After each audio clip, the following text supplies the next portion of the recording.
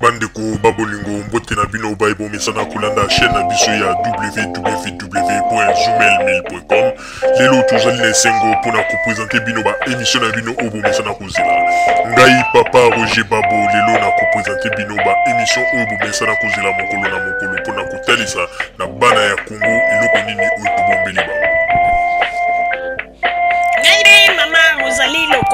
nazwi responsabilité monene na chaîne ya www.zoomailmail.com mpo na kotalisa na bapeple congolais verité to bosolo oyo nini esengeli na biso bana ya mboka toyeba esika oyo bato bazali kokangela bato miso to bazali koyebisa bato bamakambo oyo ezali ndenge wana te ebongi malamu ete biso bato ya zoomailmail totombola mongo bongo mpe toloba tolakisa bango bosolo mpo ete mboka na biso ekende liboso mpo ete bapeple kongole bayeba eloko nini tokoki kosala mpo ete nyonso tu ezali kaka mpo na lokumu ya mboka na biso mpo ete ezali esengo mingi mpo na kotangusa bosolo na kati na biso ba diaspora congolaise oyo tozali libanda ya mboka na ntango oyo bozala kaka bisika bozali nde bokolanda basango ya www.journalmail.com bandeko babolingo mbote na bino baye bomesana kolanda radio zumel 1000 bandeko babolingo lelo tozali na esengo mingi mpo na kopresente bino baemisio na bino oyo bomesana kolanda mokolo na mokolo lelo tokolobela bino nini bandeko ba bolingo lelo tokolobela bino na oyo etali bongo balokuta oyo bato ya idps bakomi kosala ezali lisusu kitoko te na miso ya bato bandeko ba bolingo balobaka na mokili ete eloko soki ezali ya yo ezali kaka ya yo bandeko ba bolingo bomoni ndenge bato bagangaki balobi nini te o oh, tshisekedi azwaki na baelection o oh, ndenge ezali wana basalaki bamanevre makambo ya lokuta bato mpe ya seni balobi ete likambo te soki ezali makambo ya lokuta boyela biso baelema to bapreve bapreve yango ti lelo emonanaka te Vital Kamerhe akendeki na kombo ya ba membre nioso ya IDPS na mwana Tshisekedi pe Felix azalaki wana bakeyi ti na Cour supreme kokotisa ba accusation na bango mpo na koloba ete fraude esalamaki malgre tshisekedi alobi ete ye azali koreconnaitre bainstitution ya mboka te Mais tango mwana na ye azali kokende ensemble na Vital Kamerhe seke makambo mosusu oyo bango balobaka bayebaka ntina na yango te. Tango ye alobaka ye te ayebi ba institution ya mboka te akoki ko reconnaître yango te mais ntango asalaki baélection ba ntango akendeki kosigne bamikanda na babiro ayebaki te ke wana azali ko reconnaître institution ya mboka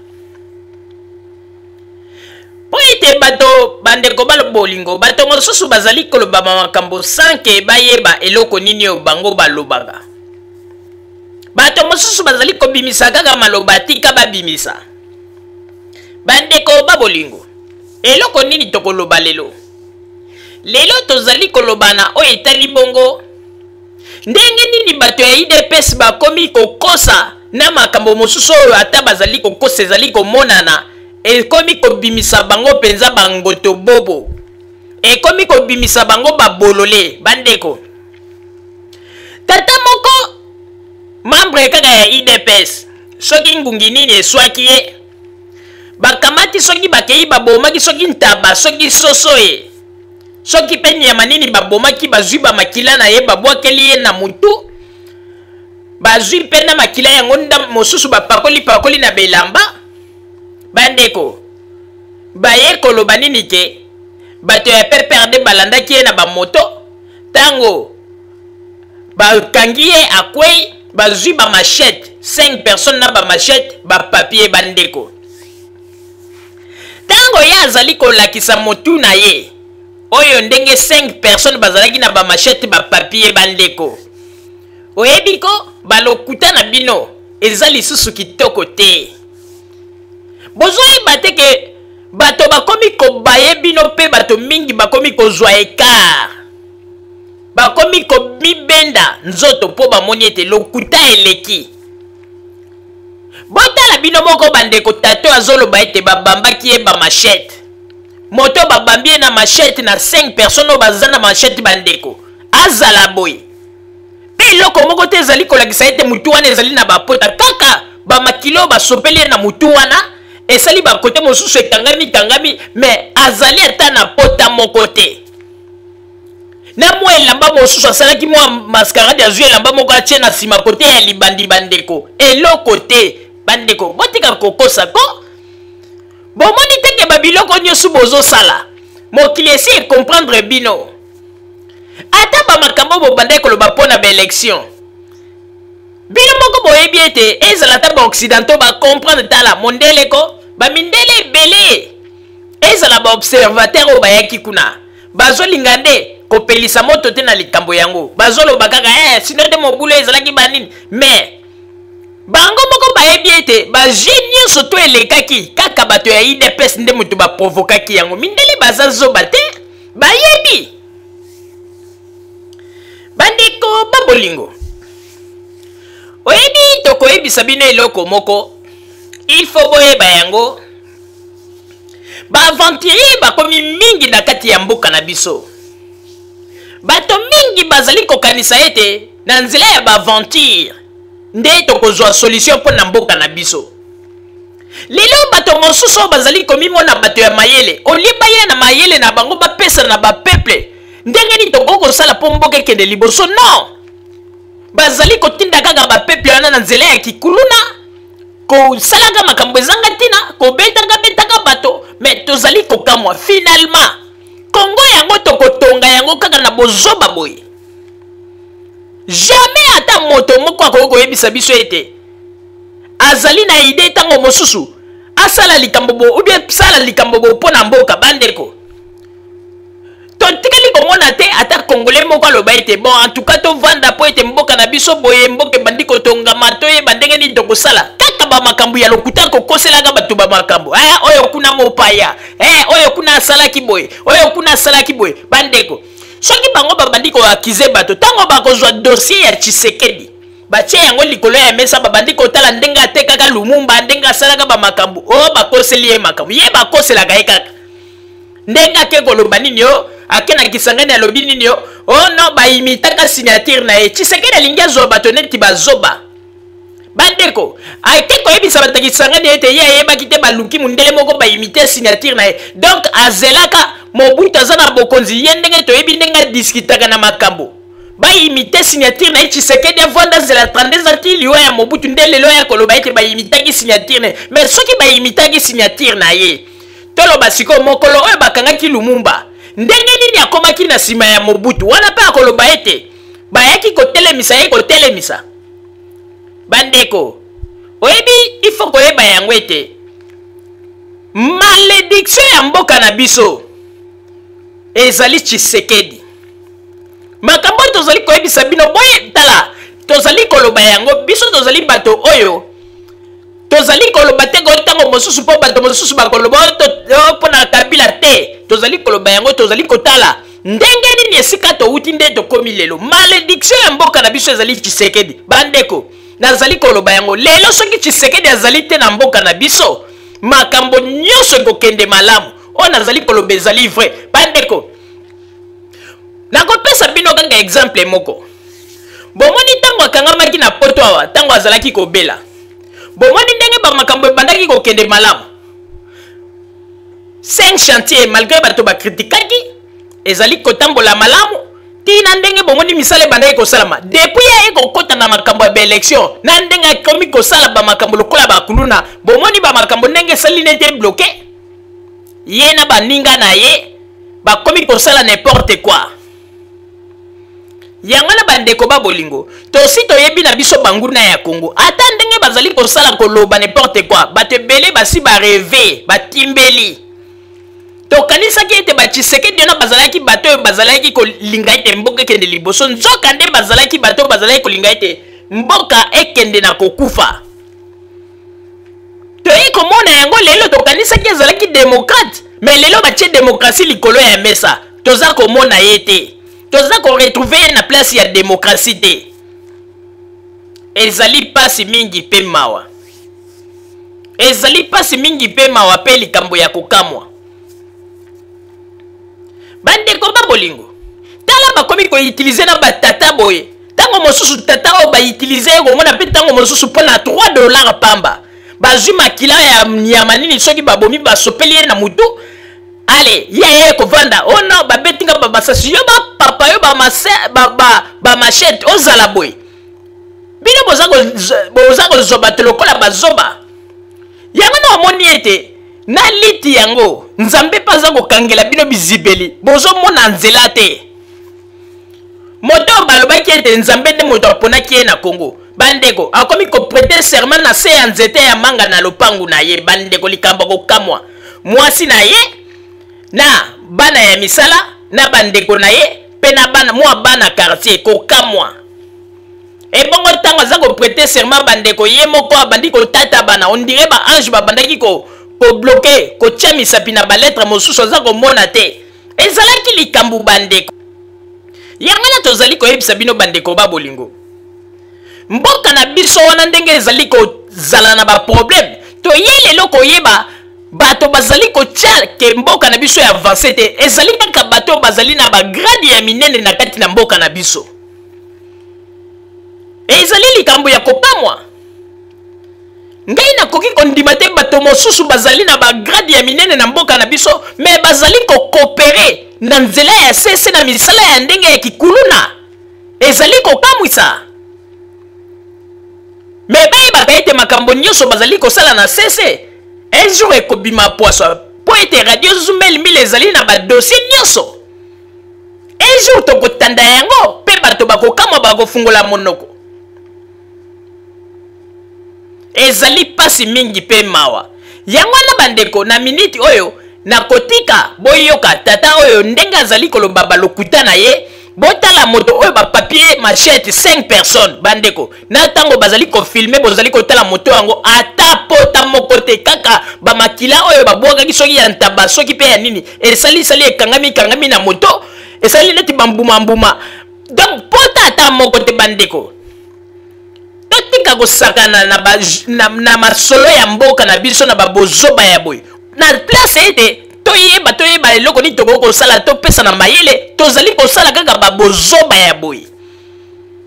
ezali mawa mingi papa botamba tiela biso nano ba maloba ya tata oyo toyoka yango tomona ndenge nini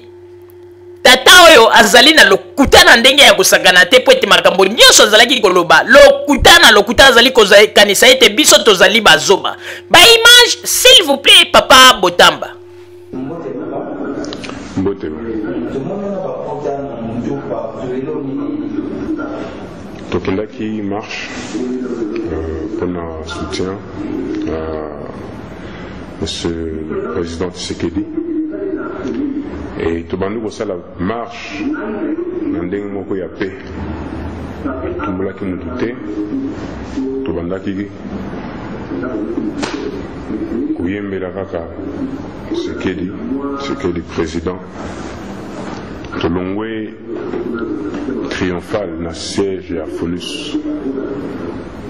totamboli ti na permanence nanu ya udps epuis tocontinue ti na cango kote ya quartier 1 et marche totamboli tobandi marche sans problème Alors au retour ntango tobandi kozonga bato baatake biso bato na bamoto bamoto ya pprd baye wana baatake biso ba eparpille biso ngai euh, ata bato 5 ou 6 ou 7 balandi ngai na bamachete balandi ngai na bamachete Ba pota oyo nionso bozo komona eza ba machette. Ba machette. Alors maintenant, je me, je m'adresse directement au président Kabila. Nazali awa naza mwana ya mboka oyo. La constitution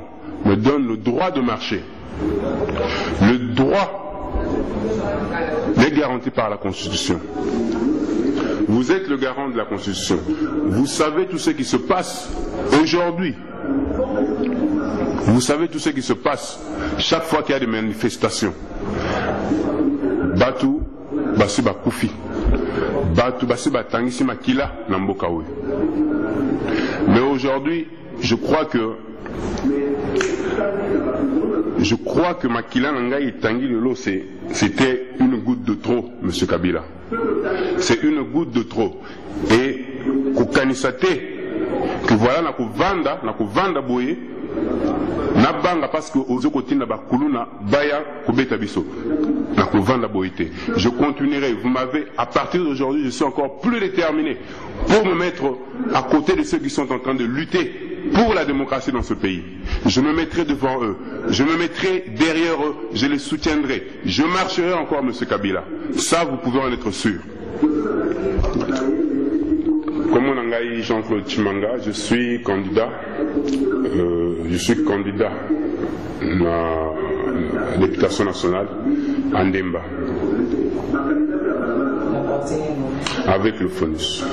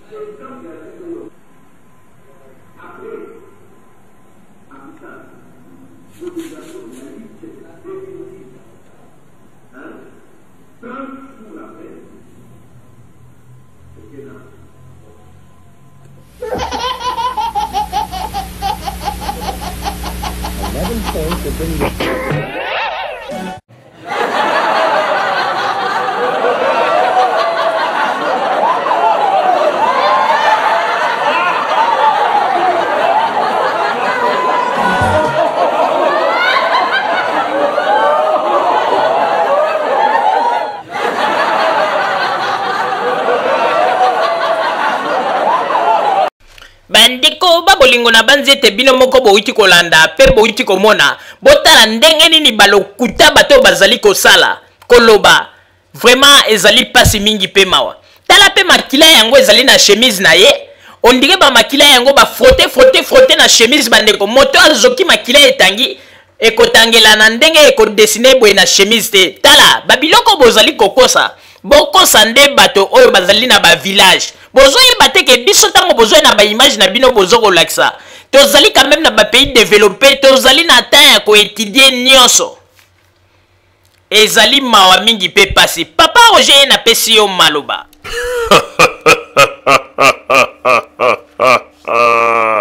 Mama Rosalie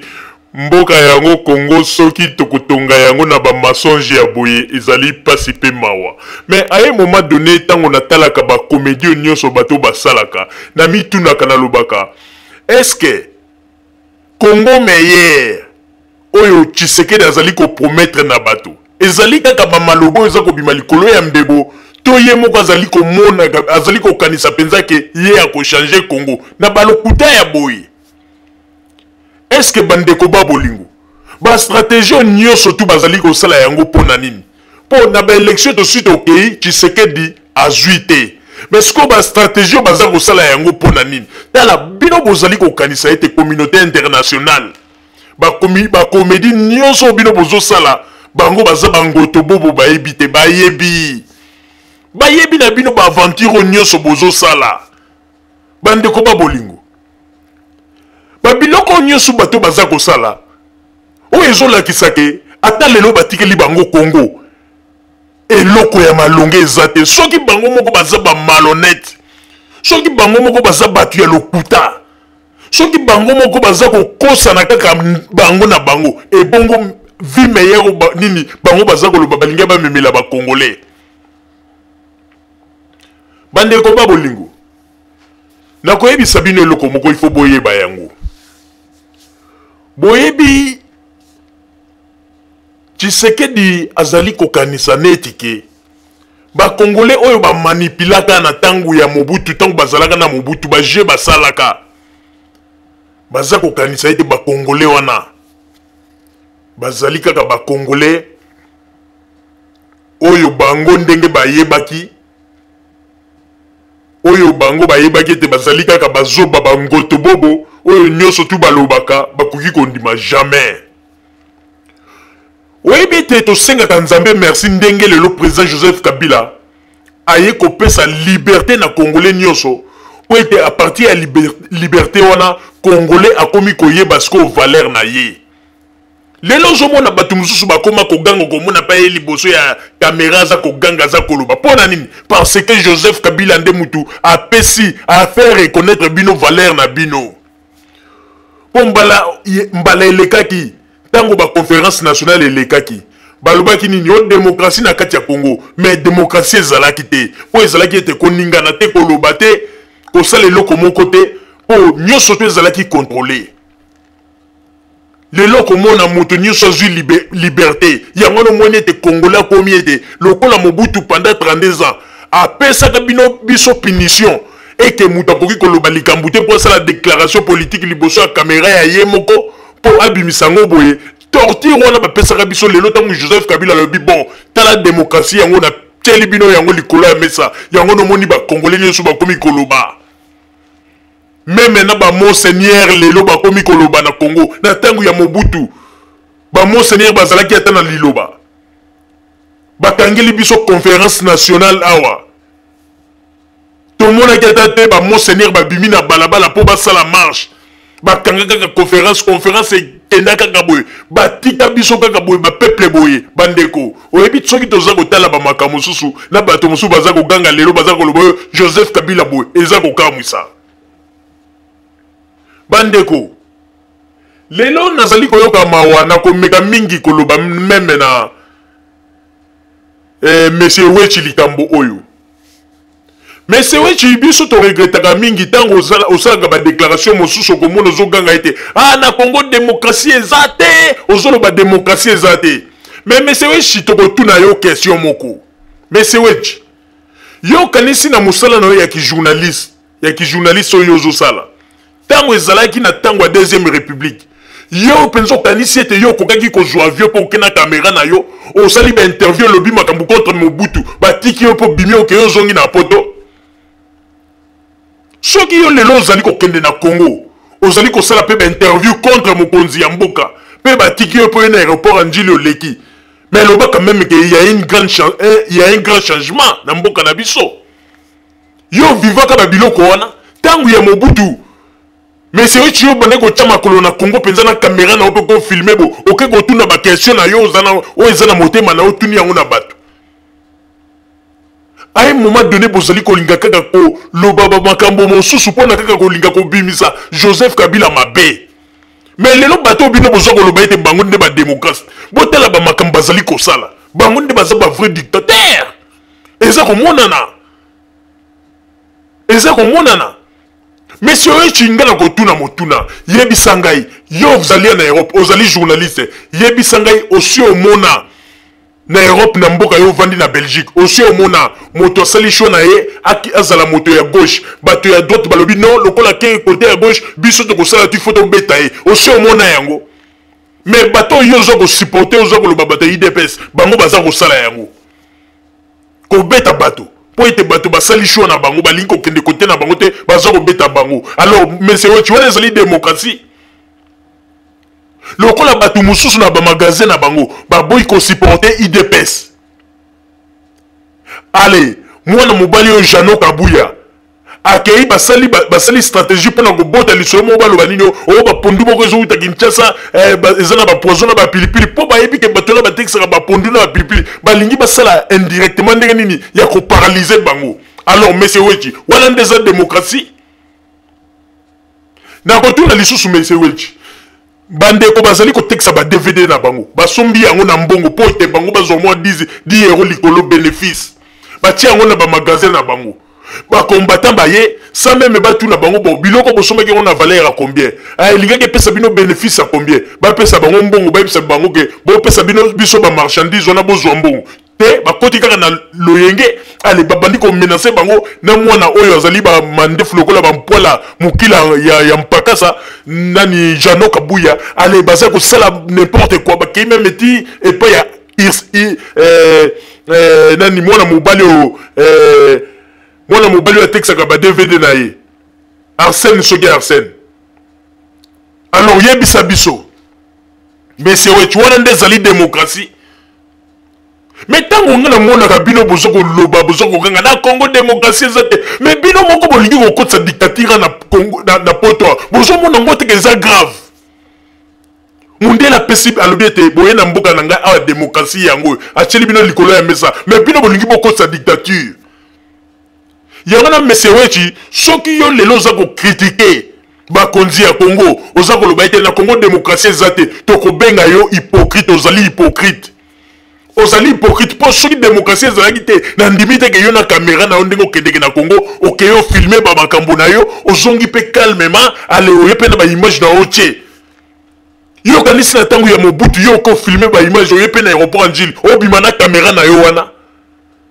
ah monsieur wetshi il faut tozalaka juste na makambo mosusu meme ata ntango conférence nationale ekotaki oyebi ke tozalaki kaka surveiller yo moko omonaki ete conférence nationale balobi démocratie ekoti na congo mais mobutu na bato na ye bakanga conférence nationale lani atelemaki mpo aloba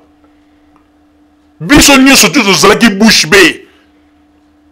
na ntango wana monseigneur mosengo kutu likambo koloba eza te nzela akenda abunga kaka boye bapeuple batikala na eperdema à un moment donné il faut bozalaka mpe na conscience babiloko mosusu oyo bolobaka toregretaka nango mingi oyo akoloba ete na congo changement eza te mpe démocratie eza te azali hypocrite azali moto ya lokuta yo okanisi na ntango ya mobutu bato lokola ba roger lumbala baza kosala babuzoba na bango batika bango mpe bayaka na poto balobaka n'importe quoi me na ntango ya mobutu bazali bato bakolimwisa bango bayebi yango bien alors oyo nyonso azoloba demokrasi eza te azali hypocrite azali moto ya lokuta Mama Rosalie nazongiseli yo maloba. Merci mingi papa Roger mpo na kozongisela ngai maloba. Bandeko ba bolingo kaka ndenge toyuti koyebisa bino ete bato ya idps oyo bakomi na balokuta moko vraiment na mpasi na mawa bakomi kokosa makambo mosusu na oyo bakoki kokosa te me bandeko oyebi ko soki bokonzi ya tshisekedi oyo ezalaki ya nzambe ekotinda bino kutu bolekaka na balokuta oyo bozali kosala te Makambo na bino elingaki ebanda kofungwama kaka na bopete nyonso. Me lokola ezalaki baprofesi ya lokuta oyo bino moko bosalaki, lokola ezalaki bamakambo ya lokuta oyo bomesana kosala, bomoni mpe bizibeli nyonso tu ya Nzambe ezali ya kokangama. Yango wana bokomi kokosa. Tata oyo azali kokosa ete babambaki ye 5 machete na motu bandeko. Eeeeee bandeko yo bakuluna bazwa yo babamba yo 5 machete na mutu yo vanda boye obanda koloba ah, boniko bandeko botala mpe makila ezali na chemise ondire bazwi bafrote frote frote frote ya yango moto oyo makila etangi ko ekolakisa batashe mpe ndenge ya makila etangelaki na elamba oyo nyonso tu bamakambo ya lokuta bamontage bazali kosala yo ozomona bato mobimba bakomi meme na ba idee ya kokende ti na ba salle de morgue mpo na kosomba bibembe mpo babima nango bakende koyebisa bato ke tala ndenge basolda ya kabila baza koboma bato babomi moto ya idps bato ya la morgue badevoile secret baje na bango bazali kosala ezali mawa mingi na ndenge mpe felix tshisekedi na mwana oyo azali mandefu ma, ma, ma lokola bapwala mokila ya mpakasa na nkombo ya jano kabuya bozali komona ndenge nini baje bazali kosala me heureusement bangala mpe basi ba, eh, nani bangala batimbeli système de jeu wana bazali kosala mpe tolingi toloba ete bandeko ba bolingo ezali te ke baluba tozali koloba mpo na baluba nyonso baluba nyonso te ke bazali na kati na makambo oyo bato oyo bazali kosala makambo oyo ezali nde baluba oyo bazali na kati na makambo ya idps nsima ya félix tshisekedi oyo bazali kosala babozoba tozali koloba na baluba nyonso te tolobi nde baluba oyo bazali na kati na baje ya félix tshisekedi bango nde bazali kosala baje wana nyonso me bazali na kati na kozanga koyeba mpo ete bangala mpe na minite oyo bazali ya kotelema bandeko ba bolingo ndenge ezali wana tozali kopesa bino baprograme ya yeah. semeno tozali ko, na semeno ndenge tobandi na oyo ekoya tokopesa bino baprograme programe oyo ndenge tokoyamba zakari bababaso elegra mola Tokoyamba ye jeudi prochain à partir ya 20 heures. Kaka ndenge tolobaki na bino ete botuna ba mituna na bino kaka na adresse oyo ndenge bozali komona liboso ya bitando ya televizio na bino oyo ya internet oyo ezali adresse na biso ya radio zumel 1000 Botuna bamituna na bino. Mpe tozali koloba ete mpo na bato oyo bakomaki na bongo bamituna na lopoto, boyebaka ete mokolo tokotuna Zacharie tokobalola yango na lingala mpo ete emission ya radio Zumel 1000 ezali bongo emission ezali bongo lingalaphone. donc tokotuna ye na lingala mpe mituna nyonso to ekoleka na lingala mpo ete ayanola na lingala mpo na bato nyonso tu bakoka kocomprendre ndenge nini biyano ya zakari bababaswe ekopesamela soki toyembi zakari bababaswe jeudi après tozali lisusu Na programme mosusu, tokoyamba bongo Monsieur Richard Lumumba le 24 janvier. Tokoyamba ye le 24 janvier à partir ya ba 19 heures. Alors, yo mpe moto oyebi ete ozalaka na motuna moko mpo na kotuna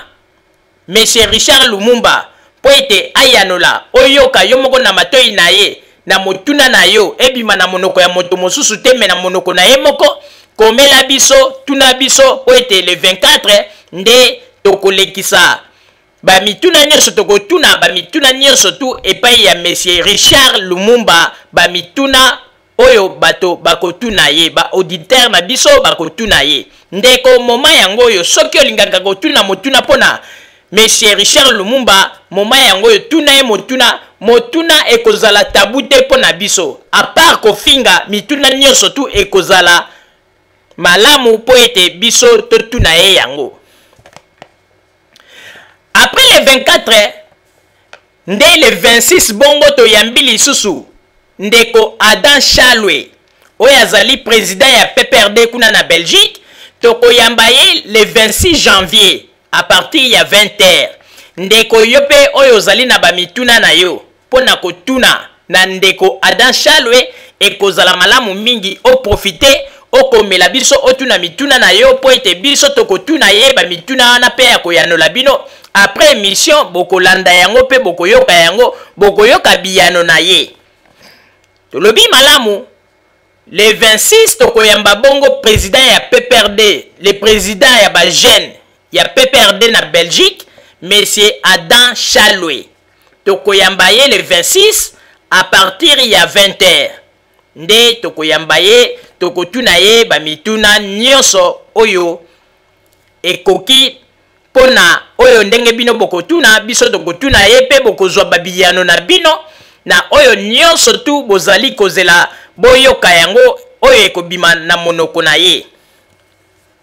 Bandeko ba bolingo yango na tozalaki koloba ete il faut biso ba congolais tozala na kati na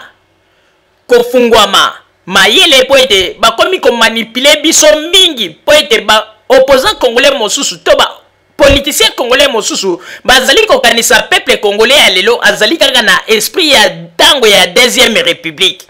mais bazali koyeba te ke joseph kabila kabange asi apesi bacongolais chance esprit esi efungwami mpo na kokosa congolais mokolo ya lelo ezali mpasi mingi yango ete bandeko tosengi na bino na ntango oyo tozala bomoko topesana bolingo topesana mayele Moto na moto aya na mayele na ye toyeba eloko nini tokosala mpo na mboka na biso RDC. Balokuta ya pamba pamba totika. Tala neti tata oyo aza koyela bato balokuta moko oyo ete ye azomona ete a ah, nabubi bango mais azoyeba te kepa na biso eleki te jamais mpe bato ebele basi baconstate ke eza lokuta ndeko 5 personnes babamba yo bamachete motu wana ekozala mpe akozala ata na akokokaka kutu kovanda na kiti wana mpo aloba botika nde ba manipulation bozali kosala ezali mawa mingi obomi soki taba na yo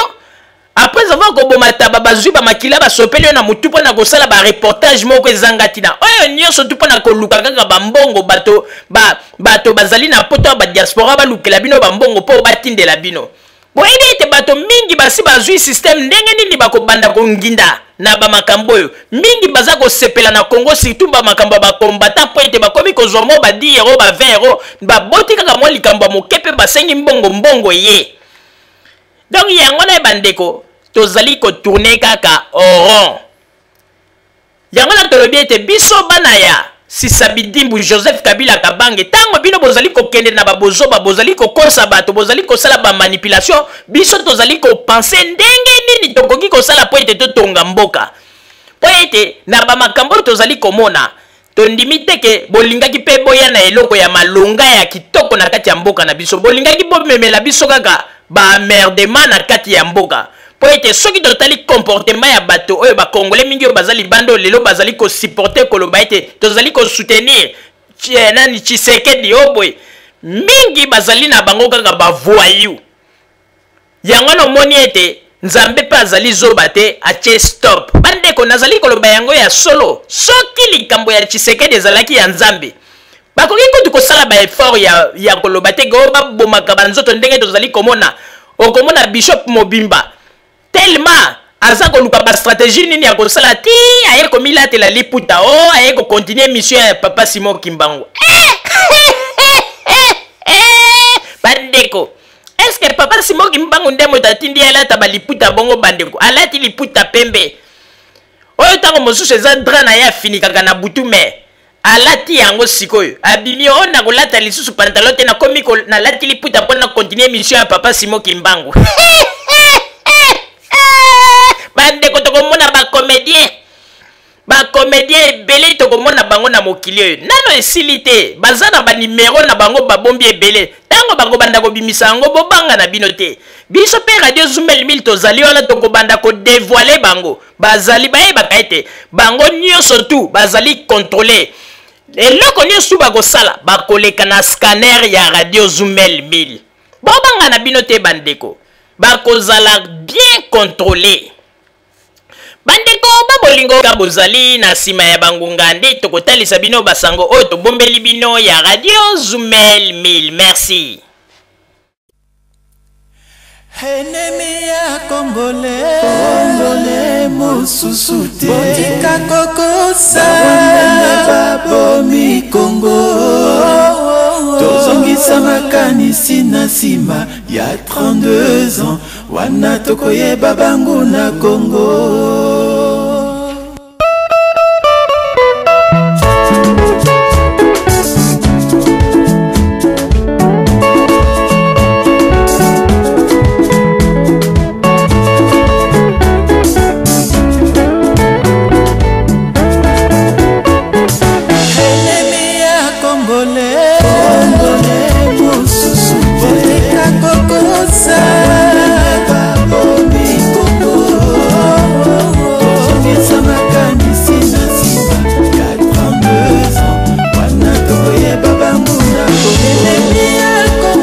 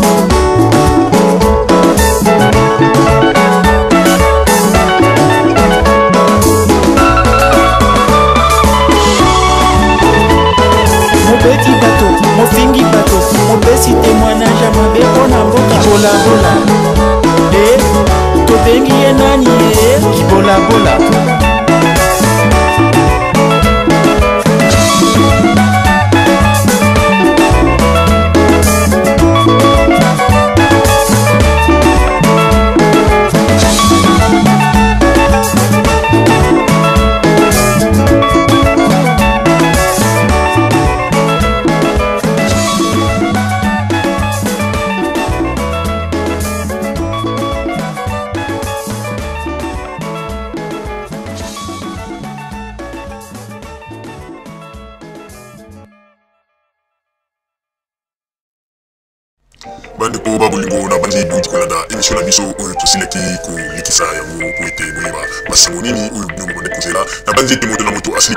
kotire leso na ye na oyo esili kolobama na esika oyo yango ete tosengi na bino ete boboto ezala na bino na bafamille esika bozwami na bandi ete mbala ya nsima biso bakozwi na bino tokozanga te mpo na kopesa bino lisusu basango oyo esengeli mpo na bino tosili wana mpo na lelo merci mingi www.zumelmil.com ezali wana mpo na bino nabanzi ete bokozala dosi te nsima ya bangonga nde boyebi nini oyo tobomeli bino merci